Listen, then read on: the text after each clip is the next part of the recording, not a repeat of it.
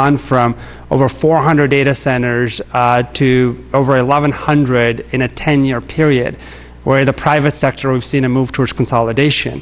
So it's greener in terms of making sure that we're leveraging these assets more effectively and also provides better customer service. Those are the other benefits. The example I used around cash for clunkers, where we had challenges around the system not being able to uh, stay online because demand was so high versus a private sector company that leveraged a cloud solution that kept up with demand without any failure. Uh, we don't want to keep our head in the clouds. A pun is the worst form of humor. but Mr. McClure.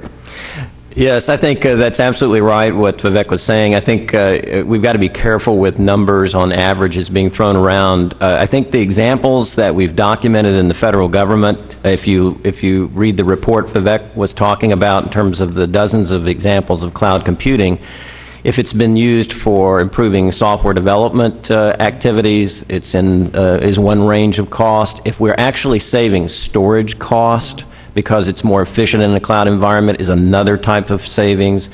If we've actually saved uh, software development money by taking a common tool that's that's plug and play into an environment, so I think the cost savings will be, you know, dramatically different depending upon the type of application and type of cloud environment that we're putting these solutions in. But I would agree that uh, we shouldn't focus totally on cost. Speed, agility, the ability to move quickly into the computing environments are significantly enhanced in these cloud environments, and those are huge payoffs for service delivery to citizens. Ms. Furlani? I think we're NIST, uh, contributes to this is the uh, standardization or the recommendations of consistency in applying the guidelines and the standards across the agency so that the, these cost savings can be realized. Um, understanding our risk management framework, we've, the release we've just put out on 837 updates and permits the leveraging of the certification and accreditation issues that we've mentioned. The uh, the baseline controls that Vivek's reference, where you can actually continuously monitor whether uh, uh, uh, security issues or uh, controls are actually deployed appropriately. So what where NIST contributes is this uh, capability of standards and guidelines to provide consistency so agencies can leverage each other's capabilities more effectively and make make the cost savings real. Will, will the gentleman yield? Yes. Uh, talked about about the fitness of some future vendor. In other words, if you assume that that each agency, unless they consent otherwise, doesn't have sharing between agencies and so on, how would you envision that as a if you can't get what you want, would this be a, step? Sure, and, and, that's actually exactly um, what we're engaged in. One of the things we've done is we've looked at this problem around uh, expenditures in information technology, and approximately $20 billion annually is spent on infrastructure. So if you take the entire 80 billion, break it down to just infrastructure spend on servers, routers, switches, um, air conditioning, backup generators, exactly. UPSs. And so the first step we're taking um, is to make sure that one, across the entire federal government, that we've got detailed plans as far as data center consolidation is concerned. So that's an effort that's actually underway and uh, part of the 2012 budgeting process, what agencies have to do is make sure they come in to that budget process to say, look, what is your plan? What is your strategy? For example, Department of Homeland Security has committed to move from approximately 24 data centers down to two. Uh, GSA has over eight data centers. And I could cite department by department the and they're supposed to be the example of best of, right?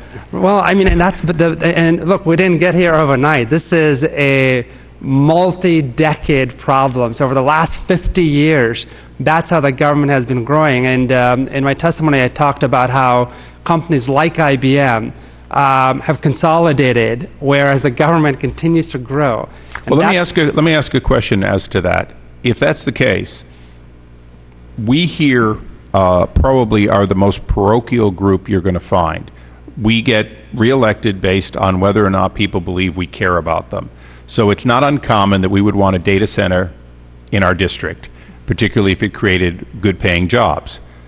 I want two. I would second that for the chairman.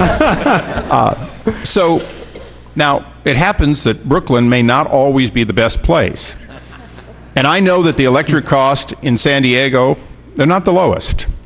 So, what are you, cumulatively or individually, doing to create, if you will, that best of location, best of price, cost for some of these data systems? And what are you doing to ensure that GSA actually goes to G- zero? Hold me, hear me out for a second. Zero data centers, because there's no reason for you to have a unique data center that is only GSA. You can have a unique room in a larger data center that five other agencies each have a room in, but what would be the cost effectiveness of having your own eight at your own sites? By the way, you probably would pick sites based on the congressmen who have the most influence on you, and I'm, and I'm perhaps one of them. Uh, well, Homeland Security might look to Mr. King and, and, and so on over there. What are we doing to ensure that these sightings are both as consolidated as possible and as efficient as possible? And, and that's And, and at least interfered by people like us as possible. Well, one, we look forward to working with the Congress as we take on this really, really difficult problem. I think you're getting those two data centers.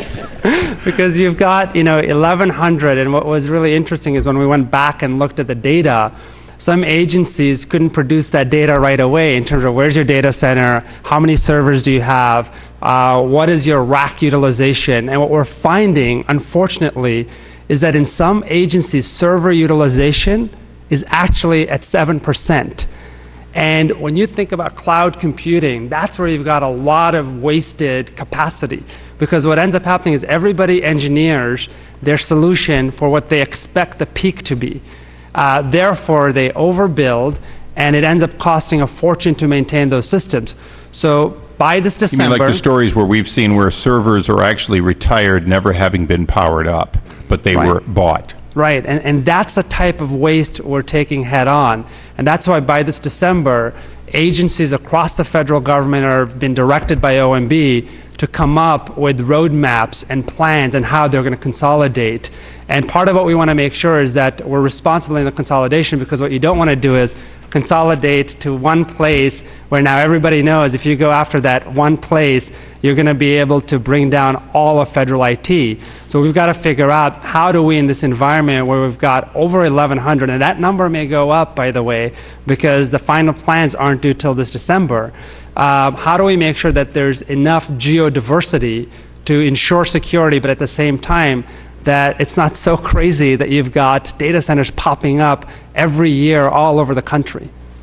Thank you. Thank you, Mr. Chairman. Right. Thank you very much. Let me thank all the witnesses for your testimony. Um, you've been very